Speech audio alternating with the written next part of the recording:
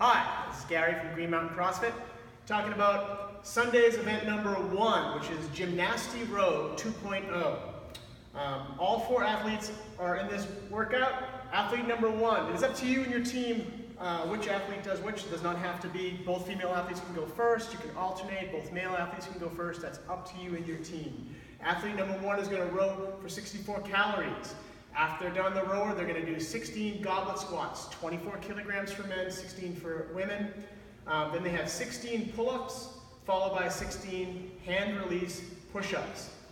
Once the push-ups are finished, um, the judge will point to the second athlete. The second athlete can already be on the rower. As soon as the judge indicates that those hand release push-ups are done, athlete number two may begin to row, all right? It'll be the athlete's responsibility to reset the rower to zero calories. Once that athlete, starts to row, finishes his uh, 48 calories, they're going to do 12 elevated pistols. The pistols are alternating, so right leg, left leg, right leg, left leg, and it's going to be on a 16 inch box. From there, they have 12 chest to bar pull-ups, followed by 12 handstand push-ups. Again, once athlete three can get on the rower as soon as the rower becomes available, they cannot start rowing until the judge points to them and tells them to go. Again, it is the athlete's responsibility to reset the rower to zero calories. After they row their third, uh, 32 calories, they have eight just regular pistols, also alternating, uh, eight strict pull-ups, eight strict handstand push-ups. At the end of the third round, whatever your time is, that will be your tie break time in case you don't get through this last bit. Athlete four rows 16 calories, does four goblet pistols, alternating. The weight is 24 kilograms for men and 16 for women followed by four bar muscle ups and four deficit handstand push ups. They can be kipping uh, push, uh, push ups and it's on a 12 inch parallel. The score here is going to be your time to finish the entire event or the time cap, the time break time followed by one, I'm sorry, uh, the cap time followed by one additional penalty second for each rep you did not complete. All right, so let's go take a look at what that's going to look like. Kimberly is our first athlete. She's on the rower. She's going to row 64 calories.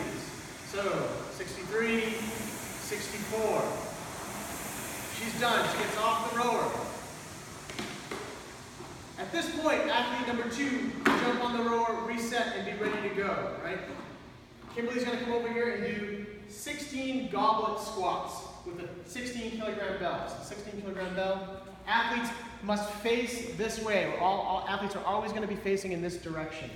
All right, Kimberly's going to do 16 goblet squats. Goblet squat, just goblet squats, Kim. Oh, sorry. Sorry. Just, oh, goblet squats, sorry. all right, 15, 16. She's done with her goblet, goblet squats. For uh, movement standards here, the hip has to be, hip crease has to be below the knees and full extension at the top. Then we go on to 16 pull-ups. Regular pull-ups, they can be kipping. Um, they don't have to be strict. She's going to do her pull-ups here. We need to have full extension of the arms at the bottom, and then the chin must get over the bar at the top. So we're to do 14, 15, 16, all right? As long as that chin uh, passes the plane of the bar at the top, we are good, and she has full extension at the bottom. Finally, she has 16 hand release push-ups. So here, again, athlete is facing this way, she Gets in a plank position, chest touches the ground, right hands come off the ground, and then full extension at the top for her hand release push-ups. Excellent. As soon as she finishes her 16 hand release, release push-ups, the judge will give the go-ahead to athlete number two to start rowing. Athlete number two in this case is Kimberly again. So the second female athlete is strapped in. She rows 48 calories this time. So 47, 48, she's done. She gets off the rower. Here we're going to do uh, 12 elevated pistols, alternating. So it's going to be done on the box, right? So your foot here can drop below the plane in the box. It must not touch the ground, though.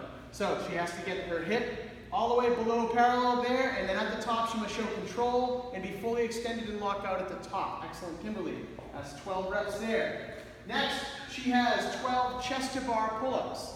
Same things apply for the regular pull-up. She has to show full extension at the bottom, and the bar must chest, touch the chest below the collarbone. So gonna do a couple of those. Full extension, chest touches below the collarbone. She's good to go. Finally, she has 12 handstand push-ups. Right?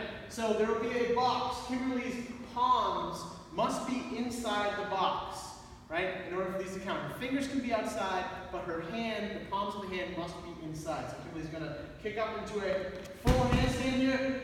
Feet touch the wall. She's gonna come down. Head touches the wall. She can kip, she can stretch, she can do whatever she likes. But at the top, she has to reach full extension. Heels are in contact with the wall to make that a good rep. All right? As soon as she finishes her 12 handstand push-ups, the judge will cue athlete number three, which is our first male athlete. 32 calories on the rower. 31, 32. Nick is done. He's gonna come over and do eight alternating pistols. Again, hip crease has to be below the knee at the bottom, and he has to show control and full extension at the top. You can hold your toe. The heel cannot touch. All the way up with control, full lockout, he's done. All right? Alternating pistols. Then he has eight strict pull-ups. Strict pull-ups must be start at the dead hang position. Hips and knees must remain open and locked out. Chin has to clear the bar, right? Full extension at the bottom. There's his eight pull-ups. Now he has eight strict handstand push-ups. Has to kick up into a full handstand here.